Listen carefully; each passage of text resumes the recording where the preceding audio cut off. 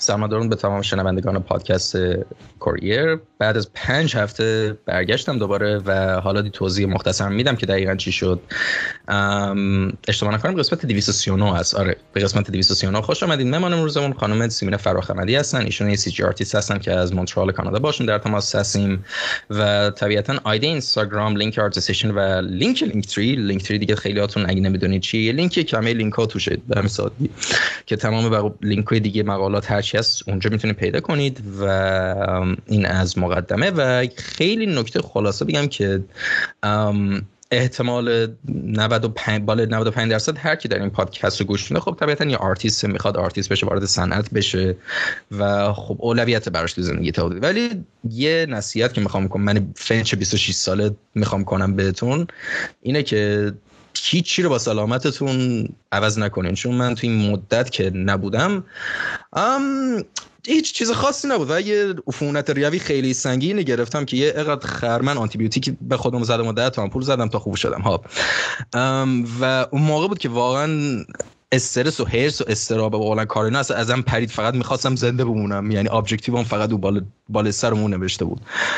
و خلاصه آره سلامت چیز لامصب تریکی هست چون یه دفعه بعد عادته که مثلا پشت بد من خودم پاسچرم درست کنم الان مثلا پاسچر بد نمی‌دونم آب نخوردن نمی‌دونم استراب استرس که یه دفعه بعد یه مدت رو هم جمع شه بعد یه دفعه مثل پت که می‌خورد تو سر آدم نتیجهش.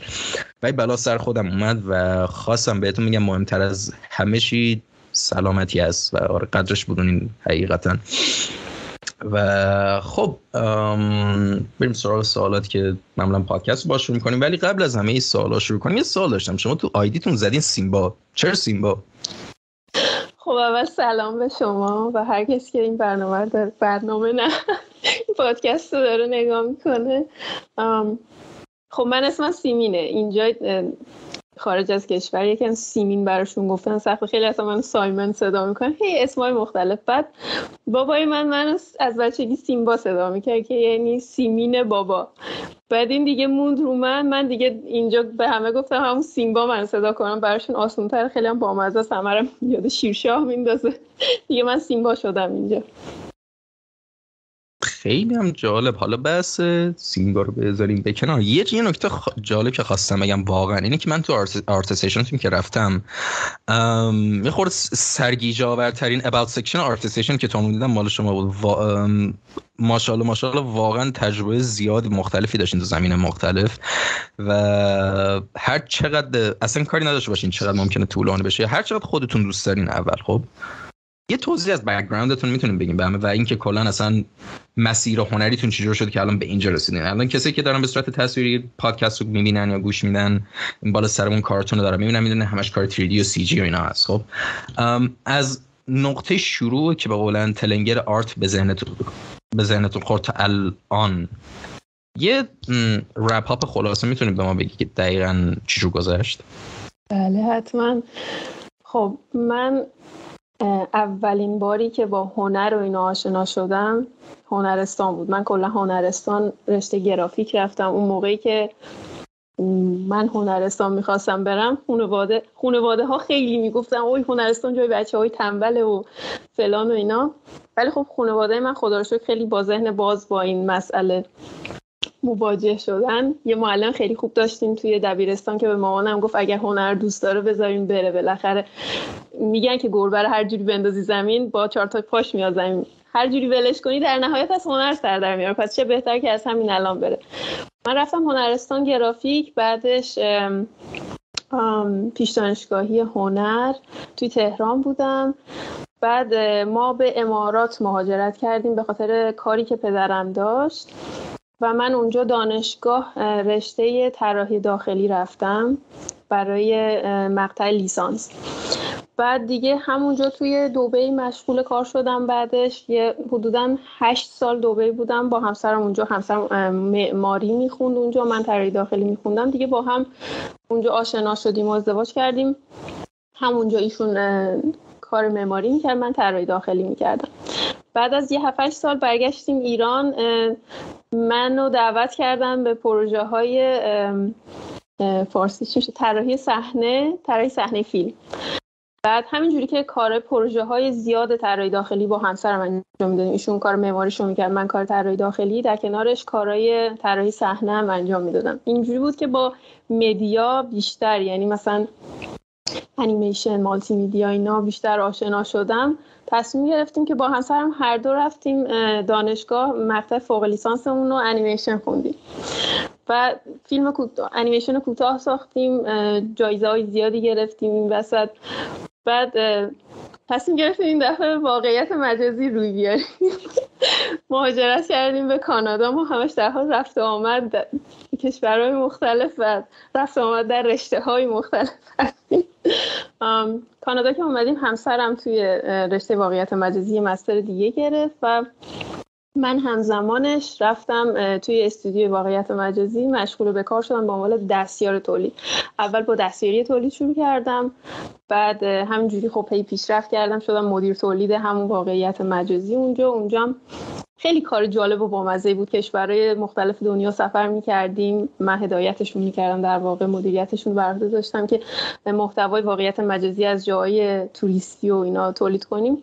ولی خب بعدش pandemic شد. pandemic شد. خب دیگه سفرم نمی‌تونستیم بریم. منم خیلی دلم برای هنر و تولیدات هنری و اینا تنگ شده بود.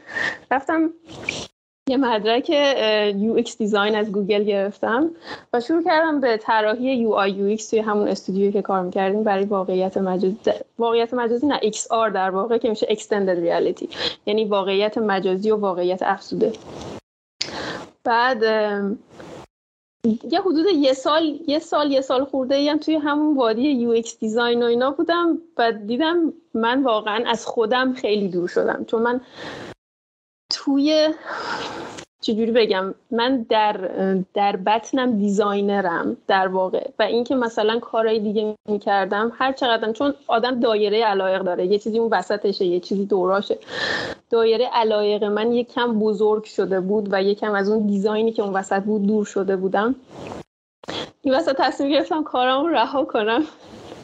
کارم ول کردم. گفتم من دیگه نمی‌تونم ادامه بدم به این حالتی که واقعا شبانه روز آدم باید یه جوری باشه که به ذوق کاری که دوست داره از خواب بیدار شه. و من دیگه اینجوری نبودم. تصمیم گرفتم کارمو ول کنم و شروع کردم دوباره. چون توی دوره‌ای که interior design کار می‌کردم خب من خیلی توی ArchViz طراحی های داخلی render های interior و اینا خیلی کار می‌کردم و خیلی پورتفولیوی بزرگی داشتم. با همسرم کار می‌کردیم. بعد از اون دور شده بودم. شروع کردم دوباره چون اینجا license خب 3D Max و مایا اینا یکم گرونتر هست گفتم با بلندر شروع کنم. خب بلندر مجانیه برای همه آرتیستا در, در دسترسه. بلندر رو شروع کردم با Procreate texture می‌کردم. یه حدود 6 ماه این کارا رو کردم و اینا. ولی حداقل می‌دونستم تو مسیری هستم که احساس می‌کنم دارم یه چیزایی تولید می‌کنم می‌تونم دوباره خودم از همین مسیر دوباره توی مسیر بندازم. یه اسکالرشیپ خیلی خیلی خوب از وارنر برادرز گرفتم و این باعث شد که من با Think Tank Training, Center که توی ونکوور هست آشنا بشم. الان اونجا در حال تحصیل هستم توی رشته CG Asset Creation for Games, Props and Environments که در واقع میشه تولید سخته یکم asset. آها بذارین از asset بگم. Asset creation یعنی چی؟ توی بازی توی بازی ویدیویی و VFX asset در واقع به مجموعه چیزایی به مجموعه المان هایی میگن که توی اون بازی یا VFX استفاده میشه. حالا این المان ها می‌تونه از منوها و آیکون ها باشه. تا موجودات و شخصیت ها و وسایل و فضاسازی. رشته تخصصی من فضاسازی و اشیا برای بازی ویدیویی هست که الان مشغول تحصیلش هستم و ترم دومم هستم در واقع. یه بگراند خیلی جمع جور شده فکر می‌کنم. دیگه بیشتر از این نمیشه جمعش کرد. آره چند تا نکته خیلی جالب تو همه صحبتاتون بود. یکی اینکه واقعا باید بگم که اولی که خیلی برای من خودم شخصا جالب و تاثیر که چقدر این جنبش رو نگه داشتین تو طول کل زندگیتون. چون خلاص بگم نه تا تجربهش کردین نه ولی مثلا وقتی شما یه کاری زیاد انجام میدین مثلا کارتون دارین مثلا فعالیت هنری مخصوصا. روی به قولن قلطه که آدم میفته بعد همینجور میره جلو دیگه آسون میشه بیشتر سنگین تر کار می‌کنه ولی وقتی یه اتفاق برای آدم میفته یا یه اتفاق میشه یه مدت کار نمی‌کنه یه ما دو ماه کار می‌کنه. کلا قلتکه صاف میشه استاب میشه و برگشتن دوباره رو اون جنبش گرفتن خیلی سخت اولش. و چیزی که الان در حال خودم دارم تجربهش می‌کنم و به خاطر این هر دفعه که اتفاق میفته با خودم میگم okay بعد دفعه بعد سعی کنم هر جور شده در اتفاق افتاد جنبش stop نشه. چون برگشتن دوبارهش که وا که چقدر اعصاب خورد کنه. بعد یه نکته دیگه هم که از خواستم بگم اینه که یادم رفت. ولی یه سوال دیگه که باز داشتم ازتون بپرسم حالا تا یادم بیاد اینه که نحوه گرفتنتون نحوه گرفتن خود scholarship از Warner Bros چجور بود کلا؟ داستانش چجور بود؟ اون شاید الان خیلی براشون سوال باشه.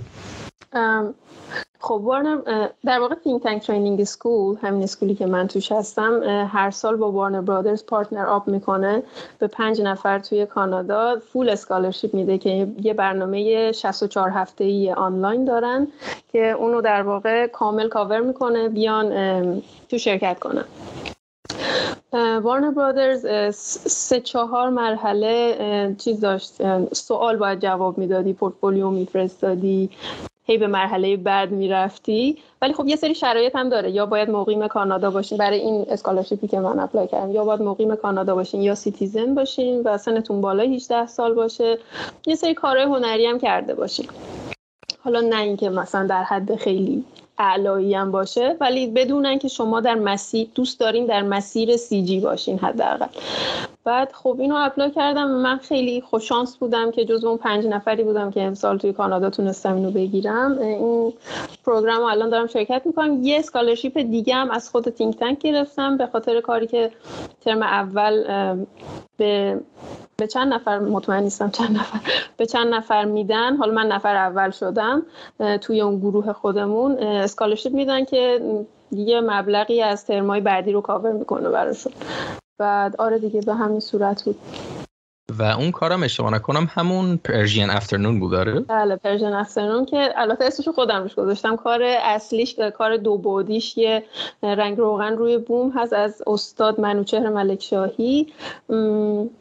اسم خاصی نداشت کارشون. من خودم اسمش گذاشتم Persian Afternoon برای اینکه خیلی المان های ایرانی داشت و خیلی منو یاد اون عصرایی مینداخت که ما در حال خونه تکونی بودیم. همه مثلا ممکن بود فرش روی مبل باشه. هیچی جای خودش نبود. همه داشتیم تمیز می‌کردیم و همه در جنب و جوش بودن و اینا.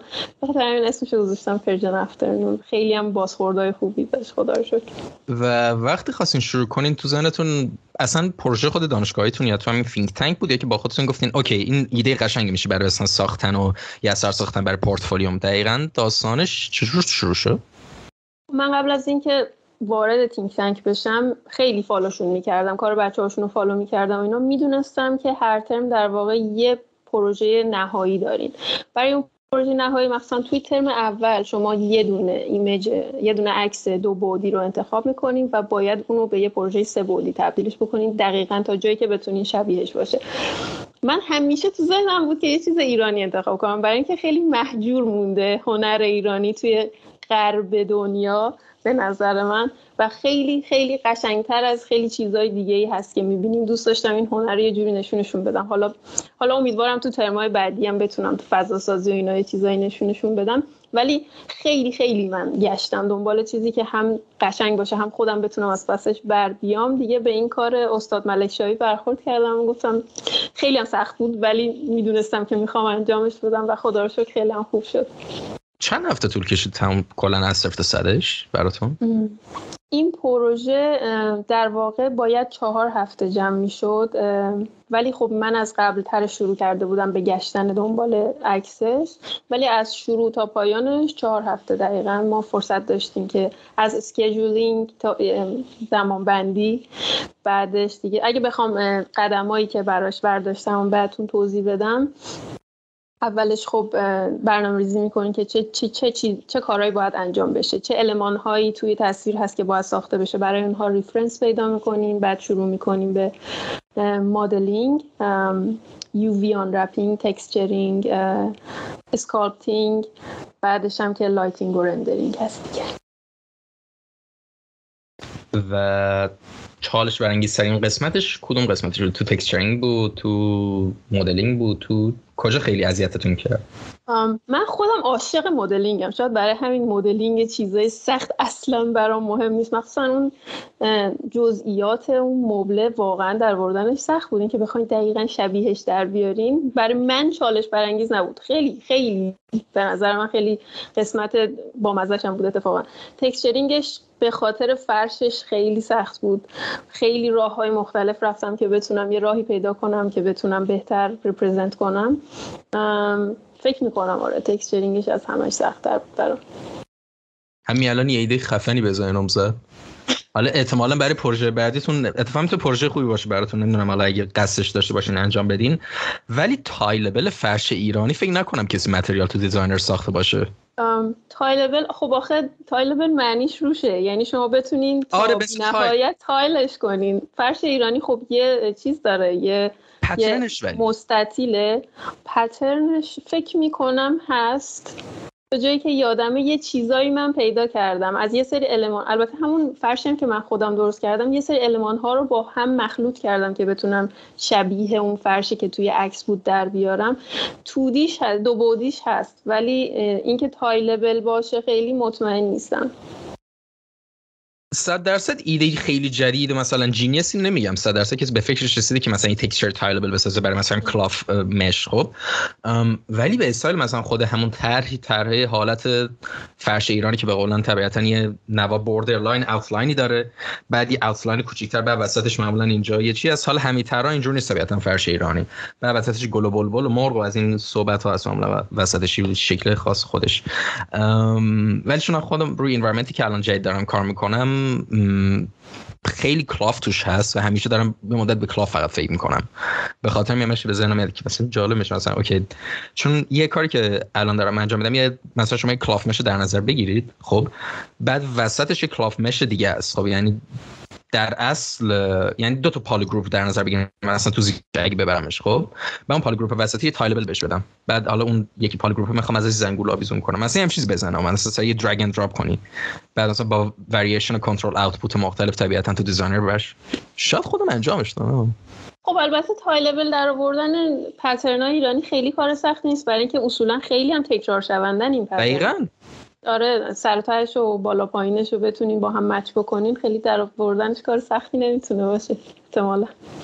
ولی رنگاش مخصوصا رنگ کلا هنر ایرانی قدیم خیلی color palette جالبی داره. بله بله درسته.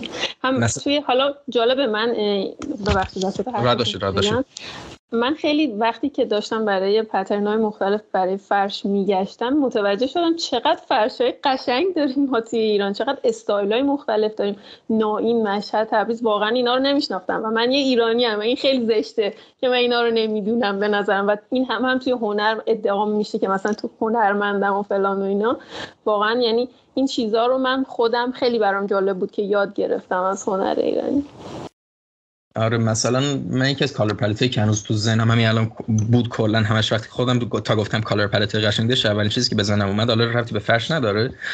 ولی کاشی رنگ شده خود بیرون محوطه کاخ گلستان مثلا زرد و آبی و بنفش خیلی زیاد با هم. خیلی قشنگ یعنی می‌دونم بعضی از فرش خود چند تا فرش دیدم اخیرا تو اینستاگرام نمی‌دونم یک خیلی کالر پلت قشنگی داشت. یه, یه آبی فیروزه خاصی بود با قرمز و بنفش. و قشنگم مش بودن واقعا مثلا من خودم ولی ترکیب رنگایی که خودم شخصا خیلی دوست دارم چون من یه چیزی که دوست دارم خیلی توش خوب بشم فولیج هست و هنوزم درست حساب توش شروع نکردم. در حد پارتکل سیستم بلندر توش ور رفتم با فولیج راستش بگم. ولی کلا اگه توجه کنی تو طبیعت کلا یکی از چشم نوازترین ترکیبات رنگ قرمز و سبزه. مثلا بستر آره. سبز بعد قرمز. حالا جالبه با اینکه مکملم هستن اصولا مثلا توی درسای رنگ شناسی اینا میگن که رنگای مکمل کنار هم شاید خیلی چشم اذیت کنه اینا. ولی خب جدیدا خیلی هم می‌بینیم چه توی فشن تو جای مختلف این دوتا رو خیلی با هم مچ می‌کنن زرد و بنفشی و مثلا خیلی قشنگ میشه آبی و نارنجی قشنگ میشه. آره یه سری بیرون از جعبه نگاه کردن به نظرم بعضی وقتا خیلی قشنگ آره حالا نتیجه تمام صحبت ها می‌تونه این باشه که اگه شما کور رنگی ندارید برو خدا رو شکر کن. به خدا. نه جدی میگم تو واقعا. همین که سالم هستیم الان نشستیم با هم حرف می‌زنیم یه خورده تم فلسفی کوچولمش بحث سلامت یه خورده existentialism داره میشه یه خورده. حالا ببخشید اگه کسی رو بردم تو فاز ولی برگردیم به هنر. بله. خب حالا الان اگه اشتباه نکنم که تخصصتون داره میره سمت asset creation به صورت تخصصی حالا چه برای هر صنعتی.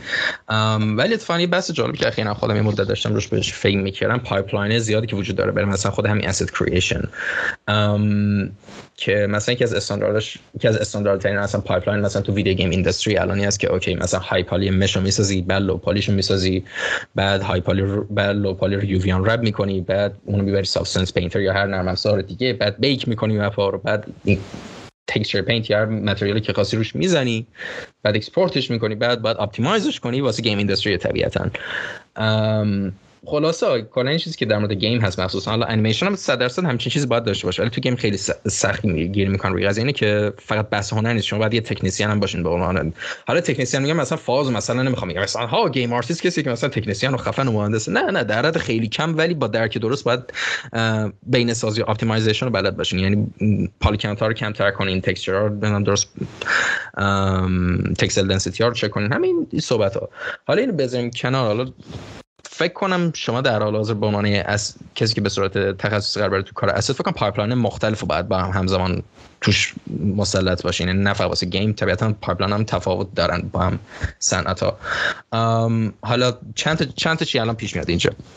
یکی این که الان در حال حاضر optimize و کلا بهینه ترین pipeline که خودتون با تجربه خودتون برای خودتون در آوردین رو که توضیح بدین. و اینکه تفاوت و توضیح رو تفاوت pipeline مختلف تو صنعت مختلف واسه تولید asset هم بگید ممنون میشم. خب اول که من خودم هنوز student م شاید خیلی از چیزایی که میگم مثلا عجیب غریب باشه برای یه عده که خیلی خیلی خودشون می‌دونن و اینا ولی حالا من در حد تجربه خودم میگم. توی همین Think Tank وارد شدیم ما ترم اول که foundation هست در واقع یه ایده کلی از همه pipeline ها میدن بهمون. چون یه pipeline فیلم و VFX داریم که انیمیشن هم جزوش میشه یه pipeline هم برای game هست. توی pipeline فیلم بیشتر اینکه شبیه باشه به, به چیزی که می‌خواین و اینکه با فضای کلی match بشه. مخصوصا اگر VFX هست چون یه چیز 3D می‌سازین توی فضای واقعیت باید match ش بکنین. lighting ش باید match باشه. این چیزا خیلی بیشتر مهمه. و خیلی وقت اصلا براشون مهم نیست که شما چند تا poly دارید اصلا. میلیون ها polygon می‌تونین داشته باشین ولی یه چیز رو به real ترین شکل ممکن تحویل بدین. توی توی game ولی چیزی که فرق می‌کنه اینه که همونطور که خودتون گفتین optimization از همه چیز مهمتره اینکه شما یه چیز خیلی خفن درست بکنین خیلی هم خوشگل باشه ولی نتونین توی game جاش بدین برای اینکه حالا یه میلیون poly داره خب به دردی نمی‌خوره. بنابراین باید آره همونطور که خودتون گفتین یه high poly دارین یه low poly دارین بعد این دوتا رو هم bake می‌کنین و در نهایت شما از اون low poly استفاده می‌کنین توی game. خب این خیلی مهمه. یه سری جنبه های technical زیادی رو وارد کار می‌کنه که برای خود من خیلی جدید هست pipeline game.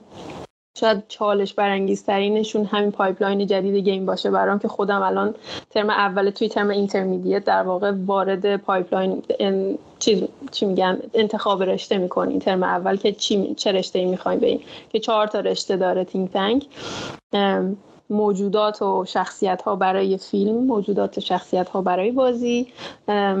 اشیا و فضاسازی برای بازی یا اشیا و فضاسازی برای فیلم. که من اشیا و فضاسازی برای بازی رو انتخاب کردم. optimization و real-time rendering که اینکه توی game engine ها بتونین کارتون رو present کنین. game engine هایی که الان ما خودمون داریم استفاده می‌کنیم Marmoset Toolbag و Unreal Engine هست که فکر می‌کنم هم دوتا استاندارد industry هم باشه. من خیلی فارسی سعی می‌کنم صحبت کنم. تلاشمو می‌کنم. درکت می‌کنم. نه okay ولی چیزه واقعا هر چه زودتر هر کی داره رو گوش میده و می‌خواد تو این field مختلف بره Unreal شروع کنین. آن کار آن render گرفتن تو Unreal lighting تو Unreal کار با Lumen کار با Nanite هر چی نگاه جدی میام حتی برای کانسپت آرتیست خیلی از الان جاب پستینگ آن فامیلیاریتی با آنریل زده. چیز لازمی نیست. ولی گفته آره، اگه آره. داشته باشین خوبه خب؟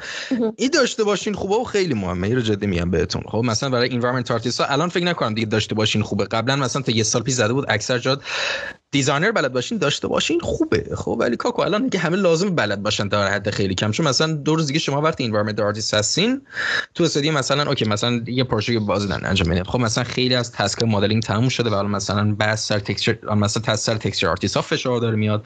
طبیعتا یه سری چند مثلا texture خیلی ساده میگن okay بدیم این environment artist رو انجام بده مثلا. حالا okay تخصصش texture نیست این بعد انجام بده.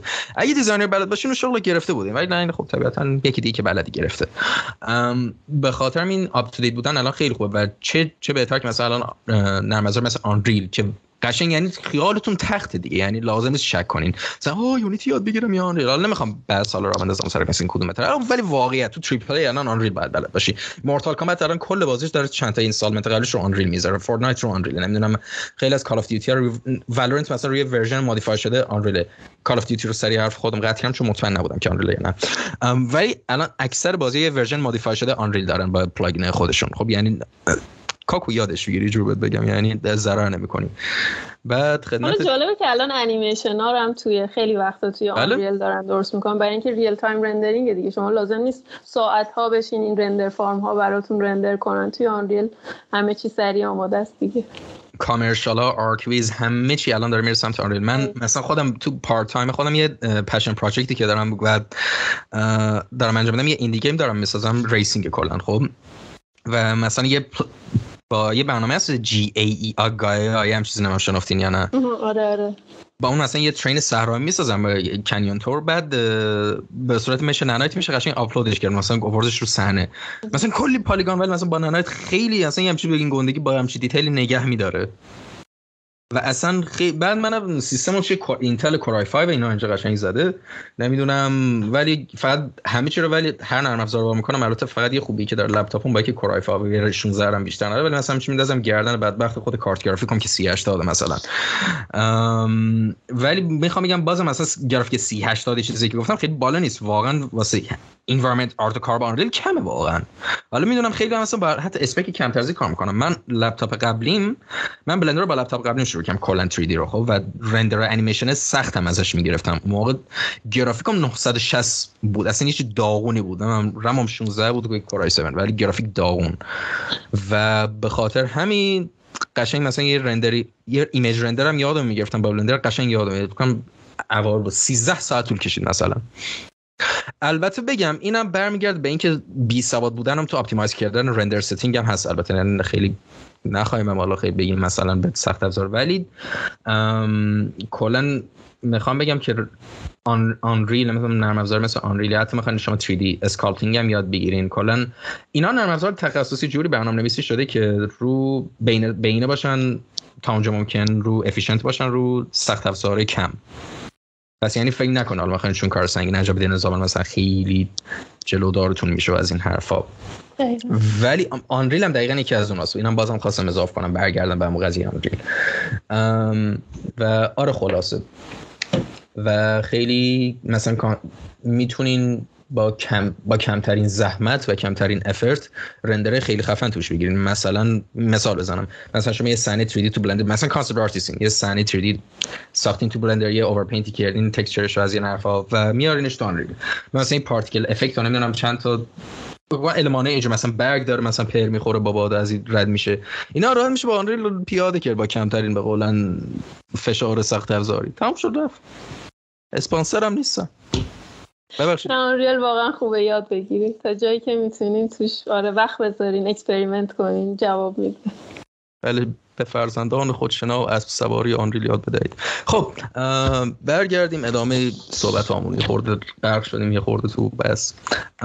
اینکه شما یه سالی کنن یه سال fun هست یه جوری اولین کاری که کلا از طریق کاری که توش پیش می‌رفتین تو زندگیتون گرفتین چون یعنی از طریق هنر اولین درآمدی که کسب کردین پیچکی که گرفتین چی؟ فاس چی بود؟ کی بود؟ چی جور بود؟ من هنرستان که بودم دستبند و کارت و کارت تبریک و اینا درست می‌کردم. با خواهرم رفتیم جمعه بازار میفروختیم. جمعه بازار هم نبود نمی‌دونم چند شنبه بازار بود. آره اون اولین درآمدی بود که من داشتم. فکر می‌کنم 15 سالم بود اینطور هیچ نبود پول نقد می‌دادم. در مغازه میفروختین یا پارچه میذاشتین خودتون؟ نه میز آره میز می‌گرفتیم میفروختیم. ولی واقعا اصلا یه فان و وایب خودش داره که مثلا کنار خیابون آدم چی میفروشه. چون من یه مدت آره. یه چند تا رفیق داشتم تو شیراز مثلا تو ارم مخصوصا هم کسی که حالا شیرازی هستن فکر کنم بودن و وایب چجوری اونجا. مثلا dream catcher میساخت کارش هم بود. یه مدتم خب منم تنها کسی بودم که خورده انگلیسی بلد بودم. اونجا بودن بقیه‌شون hello how are you فقط بلد بودن. مثلا توریست خارجی رد می‌شد شروع می‌کردم صحبت کردن. من یه پیرزن مکزیکی بار رد گفت یه چی چی؟ بعد گفتم های شبیه Cinco de Mayo از یه اسکلتی دیده بود. و خرید. یعنی هم اصلا خیلی آدم تجربه می‌تونه به دست بیاره از این به قولن side quest ه که تو زندگی انجام میده. و مثلا خیلی چیه دیگه. ولی کلا خیلی دوست داشتم کلا وایب هنر تو کشور بیشتر اینجور بود. یعنی ذوق و هنرش بود. ولی خب طبیعتا وقتی آدم مود زنده بود کلا زندگی رو از آدم می‌گیرن دیگه مود به هنر داشته باشه نو کامنت دقیقا همون بگذاریم همون. ولی اگه کسی بازم بتونه مثلا حالا اگه کسی باز ایران نیست مثلا جایی که مثلا تو ایرانم که مثلا خیابونیه که مثلا جای فرهنگی از این چیزا حال میده آدم هنرش رو به عرضه بذاره. اصلا به نظرم کار چیپی نیست. مثلا اون کسی که میره مثلا تو خیابون آواز می‌خونه برای خودش ساز می‌زنه هنگی درام می‌زنه. خوشم میاد قشنگ می‌دونی؟ ولی تا وقتی که مثلا یه که مثلا وایب خودش داره مثلا وای مثلا وایب هنری که میاری باید یه خلایی باشه که بعد این وایب قشنگ بشه. می‌دونی چی میگم؟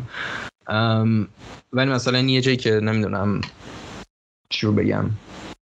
مثلا من خودم شخصا فن این نیستم که مثلا تو مترو یا مثلا اتوبوس یه دفعه کی ساز بزنه. نمی‌دونم. شاید فهم من اینجوری هم چون معمولا همه یکسان نیست به قولن. آره آخه مثلا یه, یه چیزایی مثلا آدم احساس می‌کنه با دست فروشی داره قاطی میشه می‌دونین یعنی هنره دیگه فقط برای نشون دادن هنر نیست. احساس می‌کنه واقعا دیگه برای پول در بردن اومده. به خاطر همین شاید آدم حس می‌کنه دیگه باهاش حال نمی‌کنه.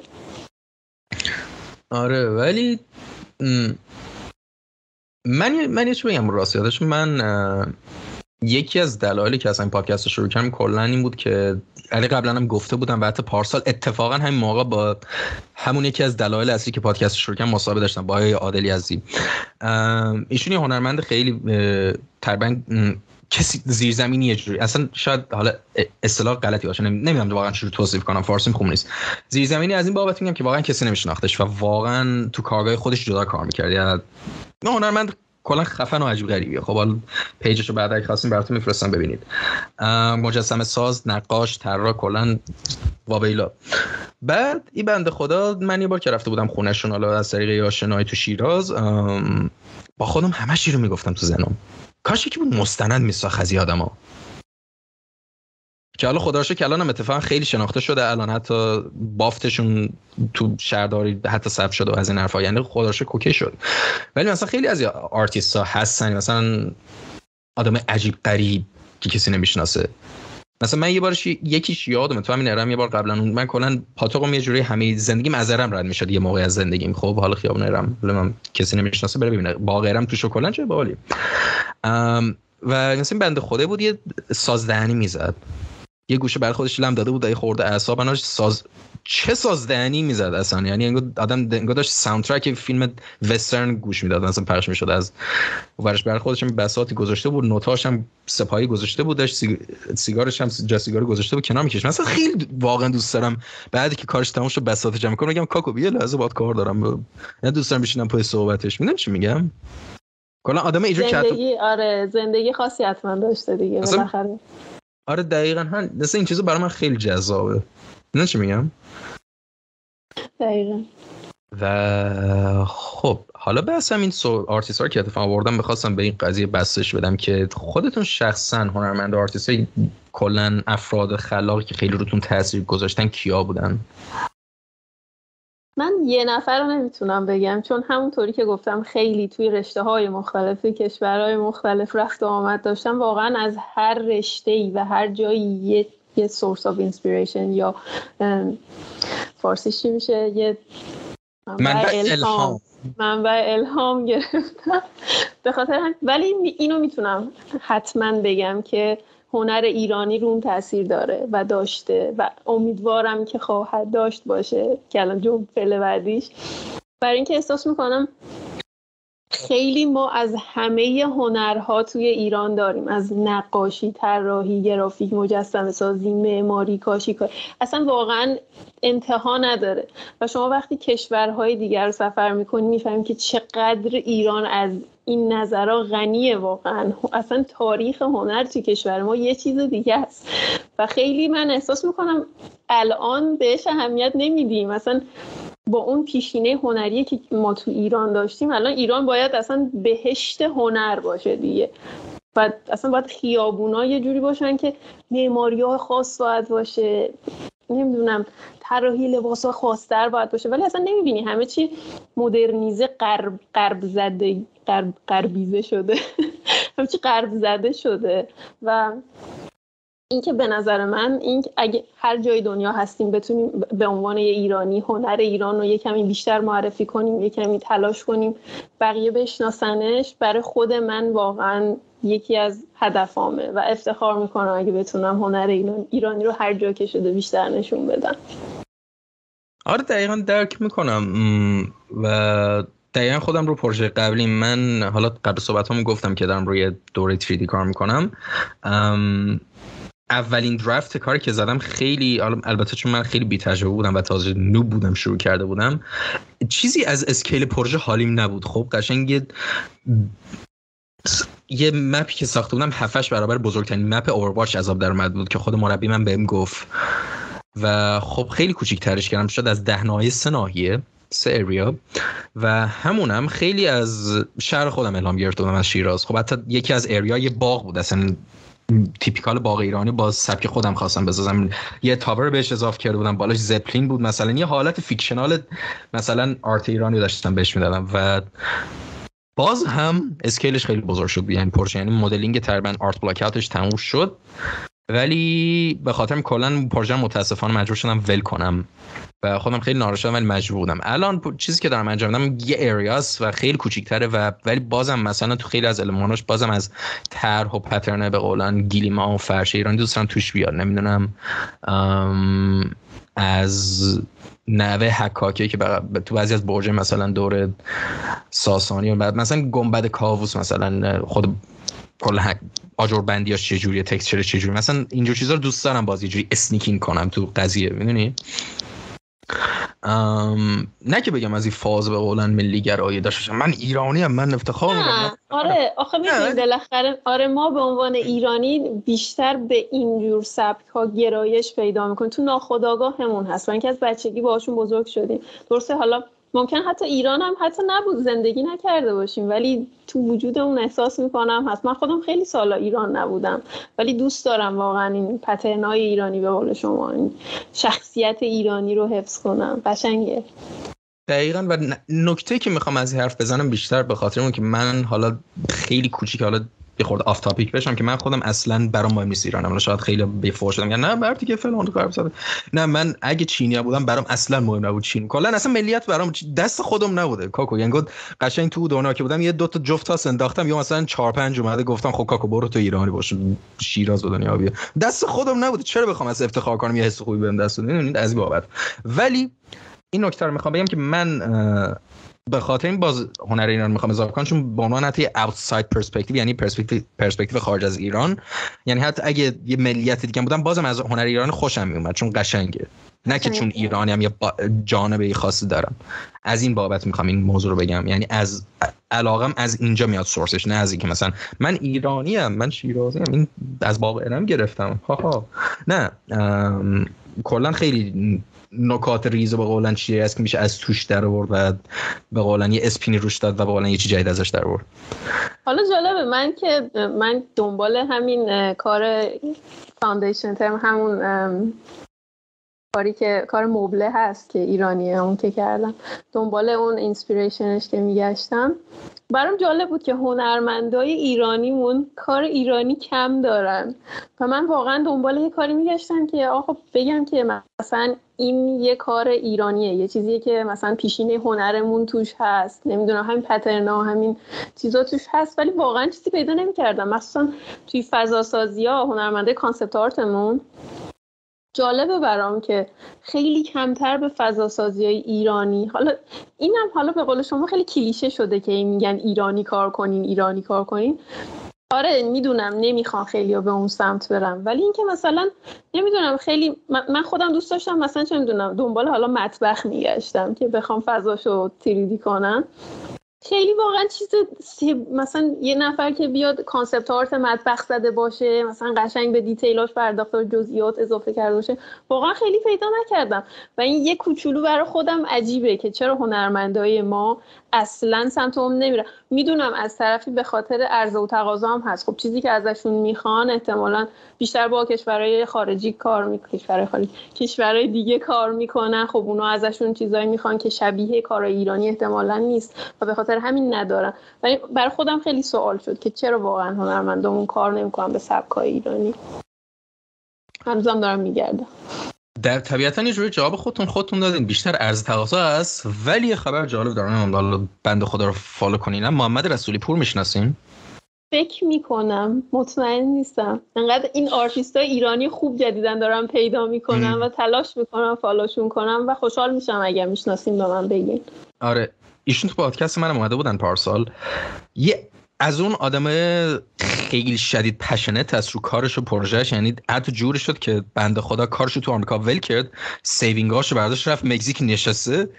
داره فقط فقط رو پروژه به قولن کلا نگهداری و هویت و فرهنگ ایرانی رو کار می‌کنه. یعنی اسطور اساطیر نمی‌دونم شاباسازی چهره شاه همه اینا. حالا صد درصد تمام مثلا مطبخ و اینا مطمئنم به موقعش به اونا هم می‌رسه. خب؟ چون کسی که داره یه جوری خیلی ها رو به قولن رلی می‌کنه یعنی جمع می‌کنه که به قولن فرنگ ایرانه تا, تا اونجا ممکن به قولن جمع شد. براش هم نگاه یه بگم حتی اگم اصلا یه, یه موضوعی که هست کلا این بحثی که مثلا تو ایران و جماعت ایران زیاد میشه مثلا میگن ها طرف یه کاری که انجام میده مثلا احتمالا واسه یه سودی یه چیز نه نه نه نه. حتی هم داشته باشه نوش جونش. خب؟ مثلا من مثلا من خودم شخصا این پادکست رو یه قرونم ازش در نمیبردم بازم انجام میدم چون دوست دارم. تمام شد و دقیقا همینه واقعا. یعنی علاقه پروژه پشن پراجکت بهش میگن تو انگلیسی. بس من همینه.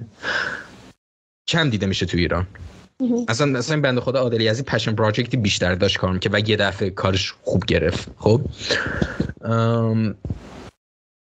و یه جورایی هم قابل درکه ها. بالاخره خب آدما برای رسیدن به یه منبع معاش تلاششون رو می‌کنن و اینکه خب احتمالا به خاطر خیلی دلایل هست که خیلی ها نمی‌تونن این پشن پراجکت رو داشته باشن اصلا کاملا قابل درکه که آدم توی مقطعی زندگیش نتونه به علایقش بپردازه. ولی مهم اینه که آره مهم اینه که آدم یادش نره چی دوست داره. اون مهمتره. آره دقیقا. ولی بس همون جنبش و غلطک بود اول صحبت همون گفتیم. آره. بعضی هستن مثلا با یه چیزی خب مثلا یه روزی شروع می‌کنن علاقه بهشون دادش میرن شروع یه چیزی شروع می‌کنن یه خوب میرن جلو میرن جلو میرن جلو. بعد تو شروع رو غلطک میافتن. و به کسی هم شاید نگن یه وقت. مثلا شاید یکی یکی دو تا دوستشون بفهمه. بعد یه دیدی شد دوازده سالی طرف داره مثلا اون کار انجام میده بازم. پولی هم ازش در نمیبرده مثلا نمی‌دونم کارمند اداره خب؟ بعد یه دفعه مثلا کارش رو می‌گیره یا یکی می‌بینه کارش رو میگه از کجا انجام داد. می‌دونی میگم؟ خیلی جدی هستن. آره. این مخفیان جدی میگم واقعا هیدنن خیلی ها مثلا همین که کاری که خود دوست داری همین که میگین ادامه بدی و مهم نباشه برات کی چه فکری می‌کنه در نهایت به چی می‌خوای باهاش برسی. همون که کارتو داری انجام میدی و ازش لذت می‌بری کافیه. در نهایت یه مقطعی از زمان یه جایی از زندگیت به نتیجهش می‌رسی. دقیقا. حالا بس عشق علاقه شد. کاکو شما در حال حاضر به غیر از Think Tank در حال چه پروژه هستی؟ انقدر Think Tank وقت من 80 ساعت در هفته دارم روی Think Tank کار می‌کنم. اصلا اقراق نمی کنم شاید حتی بیشتر از 80 ساعت. و باز هم وقت کم میارم. یعنی بازم دوست دارم بیشتر زمان بیش دوست داشتم می‌شد کمتر خوابید کمتر کارهای دیگه کرد. ولی خب دیگه بیشتر از این نمیشه. و واقعا سه روز و سه روز و هشت ساعت کلاس آنلاین آره؟ کلاس آنلاین. خب آنلاین حضوری هم هست. تینک سه مدل چیز داره سه مدل کلاس داره. یه مدل کلا آنلاینه یه مدل, یه مدل کلا آن کمپسه که میرین ونکوور. یه مدل هم هست که سه ترم اول و آنلاین می‌خونین ترم آخر رو می‌تونین به کمپس منتقل کنین. این که من دارم می‌خونم همین گزینه آخره. سه ترم اول و آنلاین میرم بعد می‌خوام اگه بشه امیدوارم که بشه بتونم به کمپس بهشون بپیوندم. یه سوال دیگه کردین یادم رفت. آها گفتین که کلاس آنلاینتون چطوریه؟ ما معمولا دوازده سیزده ساعت در هفته ویدیو داریم که باید تماشا کنیم. یعنی درس ها رو با ویدیو بهمون میگن. بعد دو ساعت هم در هفته آنلاین با سوپروایزر هست که تو کلاس میری با شرکت می‌کنی سوالات رو می‌پرسی یه سری دمو برات میده. اگه هرچی باشه دیگه اونجا حلش می‌کنیم فکر کنم سیستمش رو به سنگینی اسکول افزیدی باشه. نه هم افزیدی می‌شناسین یا نه؟ نه نمی‌شناسم یه کانسپت آرت اسکول درجه یک تو دنیا است تو فکر کنم سنگاپور یا مالزی مالی بند کانسپت آرت خیلی معروف به نام فنگجو. اونم به شد دوراش یک ساله است و یا خدا. یکی از همسایه‌های چی انداختی یا ترسیدم. و کلا نه آره فکر نمی‌دونم دقیقا چیکار یه دنگی اومد یه لحظه. بعد خدمتتون که آرزم خیلی بس که دوراش سنگینه واقعا یعنی تو این یک سال و مثلا شما از صفر هم میری حتی اکثرا از صفر شروع می‌کنن کسی که فرض کن از هم ماه اول پرسپکتیو قشنگ خورد می‌کنن آره. تو کله دانشجو. و تا آخرش همشون هم پروژه خفن می‌زنن دمی دانشجوهاشون یعنی اون کسی که دووم میارن زنده میمونن قشنگ تا بعد یه سال. فکر کنم Think Tank هم همینطور باشه سیستم Think Tank هم دقیقا همینطوریه. supervisor ها و استادا همشون توی شرکت های خیلی بزرگ دنیا مشغول به کارن و در کنارش توی Think Tank هم تدریس می‌کنن. به خاطر همین پایپلاینی که یاد می‌گیرین در واقع از خود اینداستری اومده. مستقیم ماره دیگه و دقیقا معمولا اینجور مدرسه که از سفت و سختگیرترن به معمولا امترین و سریعترین و بهترین رو بر سریعتر جذب شدن به صنعت چون اینا هدفش واسه چی فشار میارن؟ اینا پولشون رو می‌گیرن. برای اینکه هر چه زودتر برای صنعت باز پروفشنال بدن. اینا قرارداد دارن با شرکت کلا حتی دایرکتور کلا آدم کله گنده صنعت مختلف که میگن سریع برامون جونیور تربیت کن دقیقاً دقیقاً همینطوریه.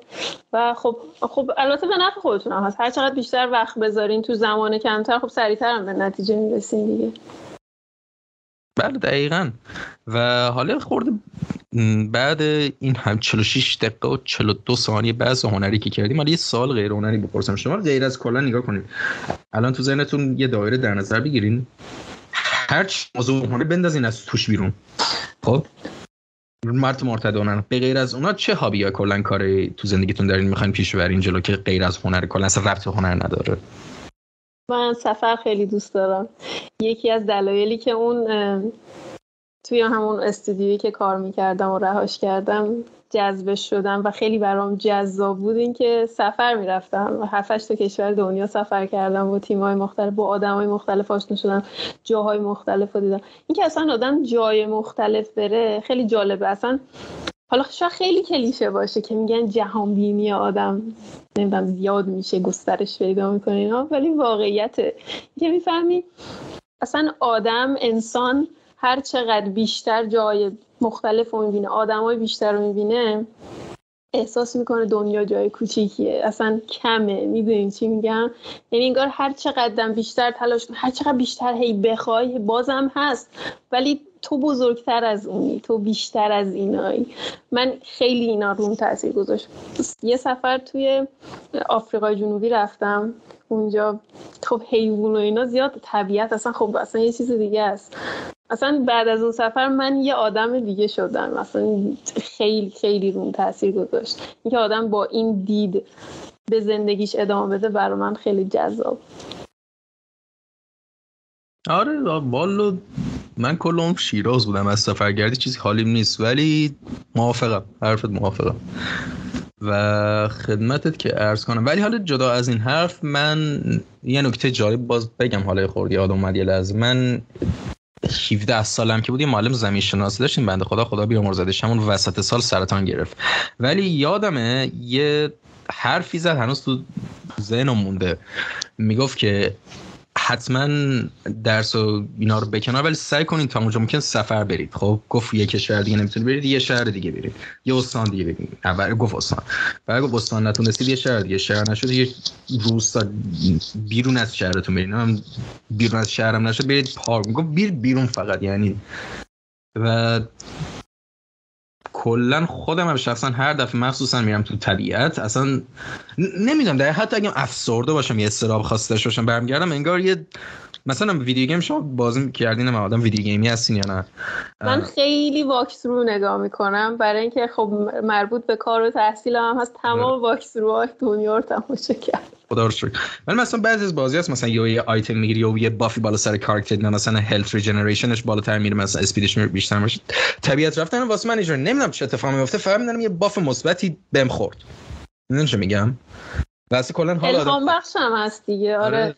و اینکه حالا تو انگلیسی observation بهش میگن فارسیش میشه مشاهده. فکر می‌کنم اینکه قدرت مشاهده آدم بیشتر میشه. اصلا همه چیز رو یه جور دیگه نگاه می‌کنه من از وقتی مثلا تکسچرینگ رو شروع کردم خب همه چیز آدم تکسچر باید بکنه. به, به جزئیات این texture رو باید دقت بکنه. قدرت مشاهده آدم وقتی بیشتر میشه اصلا همه چیز از یه لول دیگه نگاه می‌کنه این برام خیلی جالبه. دقیقا. خب خب خب خب خب. به آخرین بحث و سوال پادکست می‌رسیم که اسمش از time capsule حالا نمی‌دونم خودتون مفهوم time capsule بدونید یعنی چی یا نه. ولی خیلی خلاصه بزنید اینجور بهتون میگم. این کلا سناریویی که فکر کنم میخورده همه حالشون به هم خورده. از بس که سناریو یکسانه گفتم برای همه مهمونا. ولی خب چیزی که واقعا خوب منظور رو میرسونه. فرض کنید نگاه کنید شما توی سفینه فضایی هستین خب؟ و سفینه فضایی مش سفینه فضایی کوچیک‌تر بهش چسبیده و شما توی یکیش گیر افتادین درم روتون قفل شده خب؟ و یه تایمر هم بالای سرتون هست که از مثلا دو سه دقیقه شروع میشه و داره به صفر می‌رسه از پایین. و وقتی به صفر برسه پرتتون می‌کنه موتور شوشه میشه میره تو فضا و دیگه هم کسی نمی‌تونه نجاتتون بده.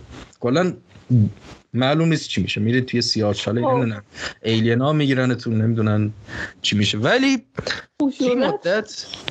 چی؟ خشونت بالاست. نه خشونت نیست اتفاقا نه منفی دیگه ایلینا می‌گیرن و alien ا کی گفت همشون خشنن خیلی خب من نگفتم خشن گفتم می‌گیرن می‌گیرن می‌گیرن خیلی معنی خوب سفینه رو باید بگیرن تا نجات بدن خب خب حالا بعدش چی میشه؟ بعد ها داشتم این رو می‌گفتم. بعد نگاه کن الان توی واقعیت شما یک کانسولی اونجا هست خب می‌تونین اونجا هزار تا کار کنین. video call voice recording از خودتون save کنین video recording از خودتون save کنین. کلا آخرین لحظاتی هست که می‌تونید چیزی از خودتون ابراز کنید به هر صورتی. خب. آخرین شانستونه خب و تو این موقعیت شما چی میگید کلا و با در نظر گرفتن این قضیه که این recording هر انسان دیگه ممکن تو آینده ببینه. یه جوری آخرین حرفاتون به عنوان نصیحت و tip و advice و حرف آخرتون. معمولا یه مشکلی که هست معمولا وقتی سوال می‌پرسم خیلی ها توی سناریو قرارشون میدم میگن خب تشکر می‌کنم از خانواده و همسر عزیزم. نه من point رو کلا miss می‌کنم. می‌دونی چی میگم؟ نه آره نصیحت کنم. همون. فرض کنین کلا برای هر کی که ممکنه کلا recording گوش بده در آینده ای به نظر من اگه یه, یه ثانیه یه دقیقه یه ساعت از عمرتون مونده برای چیزی که دوست دارین بجنگین. برای اینکه نه فقط برای اینکه بهش برسین برای اینکه توی پروسش انقدر چیزا یاد می‌گیریم و انقدر ازش لذت می‌برین که اصلا یه آدم دیگه میشین. فکر می‌کنم این تنها چیزی که دارم بگم. نه واقعا نکته خوبیه. چون یه, مس... یه جور خوبی که خودم می‌تونم این قضیه رو توضیح بدم نمیم کسی که کارتون سیمسون رو دیدن یا نه سیم سیمسونز ولی معمولا پلات داستاناش حالا نمیم از season 19 به بعد دیگه ندیدم. ولی معمولا plot اش اینجوری که معمولا با یه plot point شروع میشه و میره کلا مشتق می‌زنه و یه plot point کاملا مختلف. و این حرف چرا می‌زنم؟ کلا آدم اگه هر مسیری رو تو زندگیش انتخاب کنه مثلا یه روز مثلا به تفریح میگه هم جالب می‌شد اگه مثلا نمی‌دونم بتونم مثلا قله دماوند به فرض مثلا فتح کنم یه روزی. خب طبیعتا با خودش میگه خب باید چی کار کنم؟ باید تمرین کنم با چیز کوچیک‌تر. خب okay برای تمرین چیه کوچیک؟ بدنم داغونه مفصلم داغونه باید خیلی کار کنم باید با خیلی آدما بگردم باید با خیلی آدما صحبت کنم. و خیلی حرکت ها بزنم جای مختلف برم و همین یه مسیر گنده ای ایجاد میشه که کلی انشابات شاخه بینش هست همین انشابات شاخه کلی تجربه جالب مثلا که از تا فکرش هم نمی‌کردین بهش بخورین و خارج از بحث فتح مثلا دماوند است بهش می‌خورین. و قشنگیش به نظرم گاهی اوقات هم تو زندگی. که آدم مثلا یه کار می‌خواد انجام بده کلی مثلا تجربه side quest مختلف به پوستش می‌خوره. آره. و تا زمانی که توی این مسیر از کارتون لذت برده باشین به نظرم هیچی از دست ندادین. حتی اگه به اون هدفی که اون اول تو ذهنتون بوده باشه نرسین. هیچی از دست ندادین چون تمام مدت لذت بردین از کارتون آره فوق فوقش هم تجربه شده. تجربهاتونم یه جور به نظر من نظر شخصی خودم من من آخه حرفو با خودم می‌زنم. مثلا هر جور شده document کنیم شاید هیچکی نبینه ولی یه روز شاید مثلا نوه‌م حالا نمی‌خوام بگم نوشتون شاید خیلی دوست ندارم بچه داشتن. ولی مثلا باز یکی دیگه که مثلا دوست داره مثلا این مسیری که رفتی رو تا تنه توریستی تا تشبیه بخواد بخونه مثلا ماجراتو می‌دونیم بفهمه می‌دونیم کلا چون کسایی که نرد هستن معمولا میرن مسیر کسی که قبلشون بودن رو می‌خونن. و وقتی کلا داکیومنت می‌کنین شما ماجراهاتون رو اصلا ویست نمیشه به نظر من. چون اول آخرش یه دفتر خاطراتی میشه جورنالی میشه که به وقتی حالا مثلا 80 90 سالتون شد می‌تونین نگاش کنین دقیقا یه چیز دیگه هم که خیلی دوست دارم اینجا بگم اینه که توی social media خب خیلی خوبه share کنین کارتون همین که دارین میگین document کنین. ولی واقعا نظر آدما براتون مهم نباشه چه خوب چه بد. برای اینکه اگه نظر بد بدن خب شما رو دارن ناامید می‌کنن. نظر خوب بدن شما دارین خودتون رو مغرور می‌کنین بیش از اصلا به هیچی نباید اهمیت بدین. فقط document کنین به قول شما share کنین برای اینکه آره پیشرفت خودتون رو فقط ببینین و فقط همین. دقیقا اصلا social media رو من یه مدت با عنوان journal استفاده البته بگم اینم یه نکته بهتون بگم journal استفاده می‌کنین. جوری نباشه که ملت بزنن کلا mute تون کنن کلا. یعنی همه چی هم یعنی رگباری هم نذارین. خب آره. میگم؟ ولی product مثلا دوره کاراتون رو بزنین. از تجربه شخصی خودم میگم. بعد خدمتتون که آرزم واقعا چقدر حافظم داغون شده. یه چی می‌خواد یه چی مهمی اتفاقا می‌خواسته. آم یادم اومد. بعد وای مغزم داغون شده. واقعا مغزم داغون شده. آم اینو اینو فکر کنم از اینجا بگم شاید یادم اومد. اینم خواستم میگم در مورد کامنت ها اینه که کلا نظرات خوب ببینه آدم و اتفاقا خیلی ابزار به درد بخوره که راست سری ابزار همه فیدبک همه رو می‌تونید ببینید. ولی واقعیت که مثلا من خودم تو بعضی هم که مثلا معمولا همه اکثرا نه فقط تو تو هر چیزی که گروه گروه هم خیلی اوقات میشن. خب یا فوقش در کمتر از دو سه نفر یا تنها. ولی معمولا وقتی گروه گروه میشه حتی گروه سه چهار نفر معمولا همه قربون صدقه همدیگه میرن. می‌خوان به هم هایپ بدن. بعضی از روحی ها جوریه مثلا دوستاشون بهشون حال بدن مثلا حتی اگه در حد خیلی مثلا نظر واقعش نباشه ولی کلا شیرین میاد به قولن کار دوستشون به چششون میگن اشکال نره حال میدن خب؟ ولی مثلا من خودم شخصا هیچ وقت شاید باورتون نشه از بچگی به خدا یادم هیچ وقت جور نبودم. مثلا فک و فامیل از یه کاری می که مثلا تعریف می‌کنن یکی تعریف کنه قشنگ تو زن می‌گفتم می‌دونم داری دروغ میگی که چرت و پرت نگو. قشنگ جدی میام 9 سال 10 سالم بود جدی. چون واقعا دوست داشتم چه خوب بشم مثلا تو کاری که انجام می‌دادم. و وقتی یکی اینجوری گفت می‌دونم قشنگ فیک چرت چرت و پرت میگی؟ واقعا اینجور بودم. صادق بودی با خودت. واقعا یعنی مثلا من خودم اگه مثلا کسی بودم مثلا دوستان به مثلا یه کار انجام نه مثلا خیلی مثلا پر بال بده بگه وای چه خفن. یه خوشم مطمئنی؟ ولی مثلا وقتی لطفشونه دیگه آره. ولی مثلا ولی شما من آره حرفم اینه که گیر اون چیزه نباشین که حالا چند نفر منو لایک کردن چند نفر چی گفتن. اصلا مهم نیست اینا. مهم اینه که شما چه حسی به خودتون و به کارتون دارین. آره. همین. شما به خودت مطمئنی؟ تمام شد رفت. همین.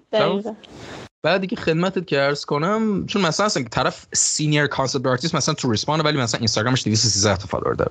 آره یعنی دقیقا دقیقا همینطوره. و این اتفاق بیشترم برای کسایی میفته که توی شرکت های خیلی بزرگ اتفاقا کار می‌کنن چون تمام مدت دارن برای اون شرکت کار می‌کنن و چیزی ندارن. آره نمی‌تونن بر خودشون کاری تولید کنن. زمان ندارن و نمی... نمی‌تونن بذارن توی social media. برای همین حالا خیلی فالوور هم ندارن. دلیل نمیشه که اصلا کارشون خوب یا بد. ولی جالبه کلا حالا خدا خیلی من نظر منفی نگرفتم تا الان. اگه هم کسی تو دلش بود تو دلش نگه داشته خدا ولی این بنده خود یه بار نوشته بود که قیافه یارو چرا قد چیه؟ آن اینترستد کلا قیافه می‌خوره زامبیه چیکار کنم؟ اتفاقا یه چرا میگم؟ چون دقیقا اخیرا رزومم برای یه جا فرستادم خب ولی یکی از بند کسی که قولا مدیریت داشت می‌کرد رزومه ما گفت فرامتین عکس تو عوض کن عکست خیلی آن و قیافه عادیم بود. بخ... دروغ نمیگم دروغ نمیگم واقعا میگم. و کلا به اصلا پیکچر برداشتم قد اصلا گفتم بیا بدون پیکچر بفرست نخواستم. چی بگم واقعا؟ خلاصا شما کار خودت انجام بدم و یه مثال دیگه هم نهایی بزنم. حالا سرتون می‌دونم خیلی درد آوردم ولی مثلا این قضیه پادکست. خب طبیعتا حتی این قسمت هم طبیعتا قسمت خیلی خوبی به عنوان میزبان حس می‌کنم شاید نداشته باشم چون شاید خیلی جا زیاد حرف زدم شاید من تون حرف زدم. خیلی خیلی شاید ممنون. نظراتتون ولی موضوع که میگم من خودم مثلا همین وقت پادکست رو شروع کردم طبیعتا حالا داستانش خیلی نمی‌خوام میگم چون زیاد گفتم تو قسمت قبلی. ولی مثلا اینجور بود که مثلا جالب می‌شد. مثلا شروعش که کردم شد 20 20 خورده قسمتش گفتم جالب می‌شد. تا 100 برسم. چون به فکر من نبود تا تا 100 رفتم. من گفتم جالب شد تا 1000 برم الانم البته نظرم عوض شده. میگم حالا اونم یه داستان دیگه است ولی مثلا میگه به 300 برسم کافی آمولم کن. ولی خدمتتون که کنم. ولی مثلا نگاه کنین. تا قسمت 150 خب؟ که با مرداد ملک بود. خب من استایل گرافیک خود کاریش اصلا یه جور حالت خیلی ساده و low effort نسبتا بود خب؟ چون من کلا با نه فقط تو کاری که واسه art انجام دادم کلا تو همه چی تو زندگی یه خورده ob... یه obsession OCD ی خاصی دارم کلا همه چی باید pipeline ی باشه. مثلا من دلیلی که می‌تونم تو یه روز چهار تا پادکست edit کنم چون یه pipeline دارم قشنگ. یعنی مثل خط تولید کارخونه قشنگ همه چی رو انجام میدم و سریع آماده میشه و آپلود می‌کنم. و دقیقا تا اون موقع کلا استایل خیلی نسبتا لو افرت بود. بعد وقتی عوض شد کلا کسی هم که اوسیدی داره با خودش میگه نه دیگه تک رنگ مثل قبل نیست فرمتش عوض میشه نه. ولی با خودم گفتم نه اتفاقا قشنگه. چرا؟ چون اگه قرار باشه فقط 150 تا 200 قسمت دارم بله خیلی زای است که تا 150 قسمت فقط 20 قسمتش درسته. ولی اگه تو بازه شما دیدتون رو بزرگتر کنید میگیم مثلا اگه قرار باشه 800 تا قسمت دارم. okay میگیم مثلا تا 150 قسمت اینجوری بعد کیفیتش رفت بالا تا این مدت.